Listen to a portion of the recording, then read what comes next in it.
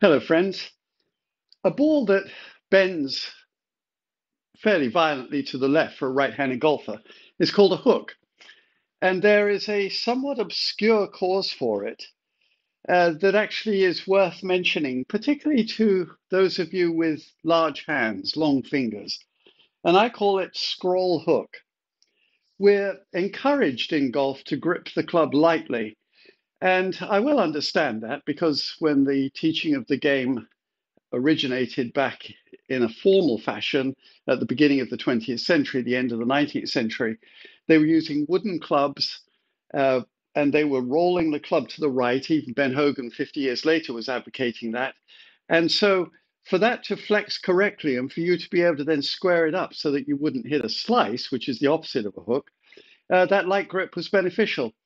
Now, when we apply force on the downswing, we tend to squeeze harder. Jack Nicklaus, fam- famous, he said that he thought that the grip pressure should be should be constant. But for a lot of people, that's rather challenging, and particularly when you're applying force on the downswing. So if you've got big hands and long fingers, and you grip lightly in the fingers, and we're encouraged to do that too, don't grip it in the palm, then here's what happens.